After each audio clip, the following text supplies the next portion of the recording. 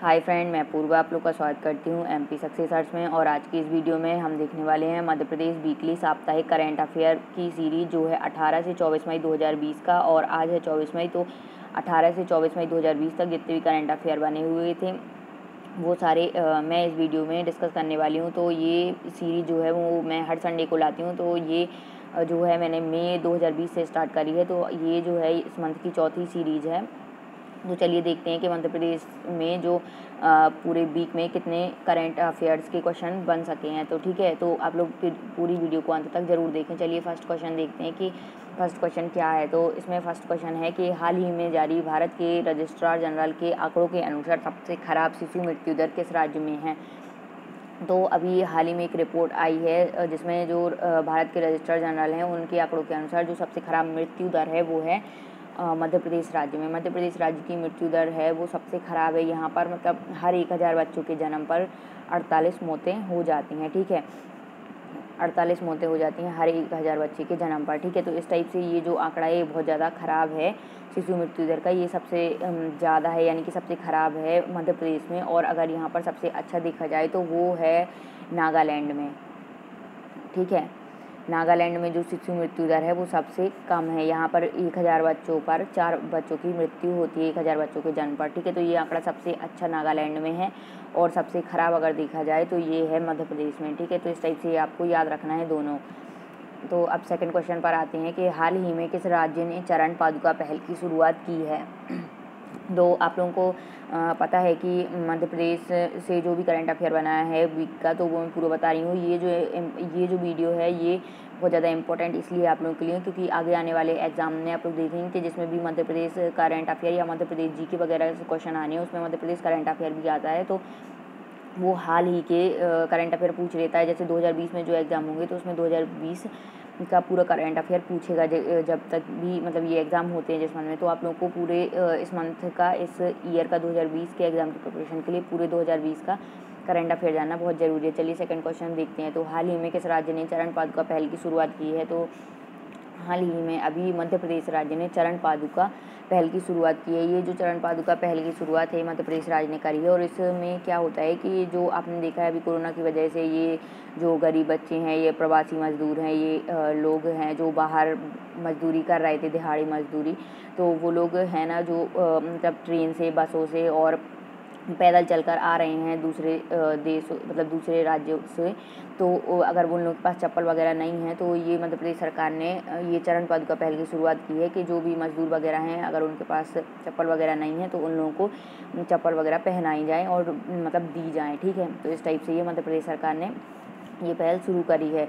इस टाइप के क्वेश्चन बहुत ज़्यादा इंपॉर्टेंट रहते हैं। आगे आने वाले एग्ज़ाम में आप लोग ये इसी टाइप के क्वेश्चन पेपर में देखेंगे, ठीक है? हाल ही में मध्य प्रदेश में सियासी ज़मीन पर चंबल एक्सप्रेस वे अब किस नाम से दौड़ेगा? तो जो चंबल एक्सप्रेस वे है आपने देखा था ये कमलनाथ सरकार के टाइम पर ये चंबल एक्सप्रेस वे मतलब शुरू हुआ था और तो अभी जो आ, मतलब अब ये शिवराज सिंह की सरकार आ गई है तो इन्होंने इस चंबल एक्सप्रेस वे का काम जो अधूरा रह गया था उसको मतलब फिर से पूरा करने के लिए इन्होंने चंबल एक्सप्रेस वे की जगह पर Chambal express Chambal progress way के नाम से फिर से इस जो काम रुक गया था चंबल एक्सप्रेस का, उसको फिर से स्टार्ट कर दिया है, ठीक है? तो ये जो है, ये चंबल एक्सप्रेस वे, ये जो रास्ता है, इस के माध्यम से क्या होगा कि मध्य प्रदेश, उत्तर प्रदेश और राजस्थान के बीच जो मतलब कि सीधा व्यावसायिक संपर्क बढ़ेगा। इसलिए ये योजना अभी बीच में मतलब ये जो काम था ये बंद हो गया था और इसका गति बहुत स्लो हो गई थी। तो अब जो शिवराज सिंह हैं, उन्होंने इसको चंबल प्रोग्रेस वे के नाम से शुरू करके इसकी जो कार्य था उससे संपर्क करने के लिए तेज़ी करी है, ठीक है? तो इस टाइप से ये क्वेश्चन भी इंपॉर्टेंट है आपके एग्ज़ाम पॉइंट ऑफ़ व्यू से, ठीक? अब फोर्थ नंबर क्वेश्चन है कि हाल ही में मध्य प्रदेश के किस शहर को कचरा मुक्त शहरों की सूची में दूसरी बार फाइव स्टार रेटिंग मिली है तो आपको पता है कि ये जो मध्य प्रदेश का जो इंदौर शहर है, उसको कचरा मुक्त शहरों की सूची में दूसरी बार फाइव स्टार रेटिंग मिली है और ये जो इंदौर शहर है ये आ, मतलब केवल मध्य प्रदेश का नहीं पूरे आ, पूरे देश में पूरे भारत देश में प्रथम स्थान पर है कचरा मुक्त शहरों की सूची में ठीक है? और इसे एक बार फाइव स्टार रेटिंग मिल चुकी थी अब दूसरी बार फाइव स्टार रेटिंग मिली है यहाँ पर ठीक है? तो मध्य प्रदेश का जो इंदौर है इसे दूसरी बार फाइव स्टार रेटिंग मिली और यहाँ जो भोपाल है यहाँ इसको थ्री स्टार रेटिंग मिली हुई है थ्री ठीक है? तो इंदौर शहर को थ्री स्टार रेटिंग मिली हुई है और भोपाल को फाइव स्टार रेटिंग मिली है। भोपाल, इंदौर को ये दूसरी बार फाइव स्टार रेटिंग मिली हुई है, ठीक? इस टाइप से इसका ये आंसर था आपका इंदौर, ठीक? अब फाइव नंबर क्वेश्चन देखते हैं। तो हाल ही में किस राज्य ने जून तक प्रॉपर्टी खरीदी पर पाँच प्रतिशत की छूट दी है? तो किस राज्य ने दी है? तो वो है मध्य प्रदेश। मध्य प्रदेश राज्य ने अभी हाल ही में कहा है कि अगर आप प्रॉपर्टी वगैरह खरीदते हैं तो उसमें पाँच प्रतिशत की आपको छूट रहेगी, ठीक है? जून माह तक अगर आप खरीदते हैं। सिक्स नंबर क्वेश्चन आ जाता है कि हाल ही में किस राज्य ने नौवीं और ग्यारहवीं के विद्यार्थियों को सप्लीमेंट्री परीक्षाओं में जनरल प्रमोशन दिया है? तो अभी हाल ही में मध्य प्रदेश सरकार ने नौवीं और ग्यारहवीं के जो विद्यार्थी हैं, उनको सप्लीमेंट्री परीक्षाओं में जनरल प्रमोशन दिया है। कि मतलब कि जिन लोगों का नौवीं और ग्यारहवीं में सप्लीमेंट्री वगैरह आई है तो उन लोगों को बिना परीक्षा दिए पास कर दिया जाएगा। इसी प्रकार दसवीं की भी मध्य प्रदेश सरकार ने दसवीं कक्षा की भी आ, मतलब जो स्टूडेंट है उनको डायरेक्ट प्रमोट कर दिया है उनके जो एग्ज़ाम रह गए थे अब वो एग्ज़ाम नहीं होंगे केवल बारहवीं के होंगे ठीक है? तो इस टाइप से ये इस क्वेश्चन का आंसर था। अब सेवन नंबर क्वेश्चन देखें यहाँ पर तो हाल ही में मध्य प्रदेश के विख्यात संत जो दद्दा जी थे उनका निधन हुआ है तो वो किस ज़िले से संबंधित थे तो आपको पता ही जो दद्दा जी थे ये बहुत ज़्यादा फ़ेमस थे। ये शिवलिंग निर्माण के कार्यों में इन्होंने मतलब के प्रारंभ किया था और इन्होंने बहुत ज़्यादा शिवलिंग वगैरह बनवाए थे। मतलब जो शंकर जी की वो बनाते थे प्रतिमा तो इन्होंने क्या किया था, शिवलिंग निर्माण करवाए थे बहुत ज़्यादा और इसी कारण से जो शिवलिंग निर्माण के कार्य के कारण इनका जो Guinness book of world record में इनका नाम दर्ज हुआ था तो इसीलिए ये इनका नाम फ़ेमस है और ये मध्य प्रदेश के विख्यात संत थे, सभी लोग इनको पहचानते हैं। इन्होंने मतलब कि मध्य प्रदेश, ना केवल मध्य प्रदेश बल्कि देश के कई राज्यों में शिवलिंग निर्माण का कार्य करवाया और बहुत ज़्यादा संख्या में शिवलिंगों का निर्माण हुआ था। तो इनका जो विख्यात संत जो थे दद्दा जी जो वो थे मध्य प्रदेश के कटनी ज़िले से संबंधित, है ना? ये कहाँ से थे? मध्य प्रदेश के कटनी ज़िले से संबंधित। तो ये भी क्वेश्चन मतलब इंपॉर्टेंट है। अब आ जाता है आठ एट नंबर क्वेश्चन तो हाल ही में किस राज्य ने फैसला लिया है कि कोरोना संकट में राज्य के सभी निजी स्कूल सिर्फ़ ट्यूशन फ़ीस ही लेंगे? तो ये जो फैसला है, ये किस राज्य ने किया है? तो हाल ही में अभी मध्य प्रदेश राज्य ने ये फैसला किया है। कि कोरोना संकट में राज्य के सभी, जो मध्य प्रदेश राज्य के सभी स्कूल हैं, वो केवल ट्यूशन फ़ीस लेंगे, जो अदर फ़ीस होती है, वो नहीं लेंगे बच्चों से, ठीक है? अब आता है नाइन्थ नंबर क्वेश्चन यहाँ पर कि हाल ही में किस राज्य ने दीदी वाहन सेवा शुरू हुई है, या किस राज्य में? तो ये मध्य प्रदेश राज्य में अभी दीदी वाहन सेवा शुरू हुई है, और ये जो दीदी वाहन सेवा है, इसमें मध्य प्रदेश के मतलब क्या है कि जो महिलाएँ प्रेग्नेंट वगैरह हैं, उनकी डिलीवरी वगैरह होनी है तो उसके लिए जो जैसे वाहन मंगाया जाता है तो उसमें क्या होता है कि उसमें कहीं देरी हो जाती है, कहीं टाइम पर नहीं आता है तो ये जो मध्य प्रदेश की जो मतलब कि ये दीदी वाहन सेवा मध्य प्रदेश की जो महिलाएँ हैं, कुछ जो स्वयं सेविका वगैरह हैं, उन्होंने ये दीदी वाहन सेवा शुरू की है ताकि तत्काल मदद मिल सके। आप इस, इन्होंने कुछ नंबर भी जारी किया है, उस पर आप लोग जैसे कॉल करें तो जो दीदी वाहन सेवा है, ये तुरंत आपके द्वार पर आ जाएगी।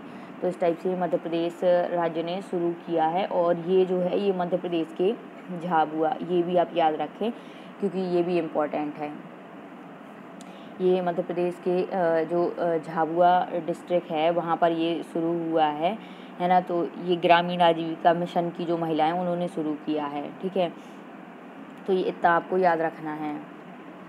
अब आ जाते हैं नेक्स्ट क्वेश्चन पर तो जो टेंथ नंबर क्वेश्चन है, वो है कि हाल ही में मध्य प्रदेश के मुख्यमंत्री शिवराज सिंह चौहान ने कौन से अभियान का ऐलान किया है? तो आपको पता होना चाहिए कि अभी जो 22 मई को मुख्यमंत्री शिवराज सिंह चौहान ने एक अभियान शुरू किया है, अभियान का ऐलान किया है तो वो कौन सा है? तो वो है श्रम सिद्धि अभियान। यहाँ पे ठीक है। तो इसके तहत क्या होगा कि मध्य प्रदेश में जो श्रम सिद्धि अभियान शुरू होगा इसके तहत जो आ, मतलब कि उन्होंने ये ऐलान किया है कि इसमें हर घर जो गाँव वगैरह है उनमें हर घर में सर्वे होगा और सबको काम मिलेगा। जो अभी आप देख रहे हैं कि कोरोना महामारी की वजह से ये जो मज़दूर वगैरह हैं जो दूसरे देशों में दूसरे राज्यों में मतलब कार्य कर रहे थे कि और वहाँ पे फैक्ट्रियों में और अन्य जगह काम कर रहे थे तो अब वो अपने मतलब देश में, अपने राज्य में वापस आ गए हैं। तो ये लोग मध्य प्रदेश में वापस आ गए तो अब मध्य प्रदेश में इन लोगों के पास काम वगैरह नहीं है। तो जो मुख्यमंत्री शिवराज सिंह चौहान हैं, उन्होंने मतलब कि अब कहा है कि गाँव वगैरह में जो रहते हैं, जो लोग मतलब गाँव के हैं, जो किसान वगैरह हैं और जो लोग मज़दूरी करते हैं तो उन लोगों को अब क्या होगा कि उनका घर घर जाकर सर्वे होगा कि हर घर में कितने लोग हैं और कौन कौन मज़दूरी करने के लायक हैं, अठारह साल से ज़्यादा हैं और उनका जॉब कार्ड वगैरह बनाया जाएगा इसमें, है ना? जिनका कार्ड नहीं है, उनको कार्ड बने, बनवाया जाएगा और उनका पूरा सर्वे होगा और फिर उसके तहत इन लोगों को रोज़गार दिया जाएगा, ठीक है? जो जिसके अकॉर्डिंग होगा जैसे कोई पढ़ा लिखा है तो उसके अकॉर्डिंग उसके काम के हिसाब से उसको जॉब दी जाएगी और जो मज़दूरी वगैरह करते हैं, जो मतलब पढ़े लिखे नहीं हैं तो उन लोगों को उसके हिसाब से मज़दूरी का कार्य दिया जाएगा और भी जिस कार्य में ज़रूरत होगी तो उन लोगों को रोज़गार दिया जाएगा। सीधा मतलब मध्य प्रदेश सरकार का ये है श्रम सिद्धि अभियान के तहत कि वो जो लोग हैं, उन लोगों को रोज़गार दिया जाए। हर मतलब व्यक्ति को, हर घर में एक ना एक व्यक्ति को रोज़गार ज़रूर मिले। इस टाइप से उन्होंने ये श्रम सिद्धि अभियान का ऐलान किया है, ठीक है? अब ये है कि हाल ही में मध्य प्रदेश के किस ज़िले में कम्युनिटी स्प्रेडिंग शुरू हो गया है? तो आपको पता है कम्युनिटी स्प्रेडिंग क्या है? कि इसमें मतलब ये है कि जो समूह है, उसमें ये समूह या समुदाय में मतलब स्प्रेडिंग या फैलना तो ये कम्युनिटी स्प्रेडिंग जो शुरू हुआ है, वो इंदौर में शुरू हुआ है। आपको पता है, ये अभी कोरोना चल रहा है तो कोरोना की जो थर्ड स्टेज है, वो इंदौर शहर में मध्य प्रदेश के शुरू हो गई है, ठीक है ना? तो इसीलिए ये कम्युनिटी स्प्रेडिंग इंदौर में शुरू हुआ है तो इसमें अपन लोग को मतलब कि जो लोग भी इंदौर शहर के हैं, इंदौर ज़िले से हैं, उन लोग को बहुत ज़्यादा सावधानी रखनी होगी, ठीक है? कोरोना वायरस के जो संक्रमण की तीसरी आ, मतलब कि थी स्टेज वो शुरू हो गई है। उसने प्रवेश कर लिया है इंदौर ज़िले में और सबसे ज़्यादा मध्य प्रदेश में इंदौर ज़िले में ही कोरोना के मरीज़ पाए गए हैं और ये जो मतलब कि कम्युनिटी स्प्रेडिंग है ये मतलब इसका पता नहीं चलता है। तीस से चालीस प्रतिशत मामलों में संक्रमण का पता नहीं चलता है कि मतलब हो गया है कि नहीं हुआ है और लोगों को लगता है मुझे नहीं है, लेकिन फिर भी उनको निकाल आता है, ठीक है? तो इस प्रकार से ये जो कम्युनिटी स्प्रेडिंग है, ये इंदौर ज़िले में शुरू हुआ है। इस टाइप से ये मध्य प्रदेश के जो करंट अफेयर थे, आपके वीकली करंट अफेयर अठारह से चौबीस मई दो हज़ार बीस के तो वो सारे मैंने बता दिए हैं। तो आप लोग को वीडियो कैसी लगी प्लीज़ कमेंट बॉक्स में बताएँ और जो लोग पहली बार चैनल पर जुड़े हैं, वो लोग चैनल को सब्सक्राइब कर लें। Thanks for watching my videos please like share and subscribe thank you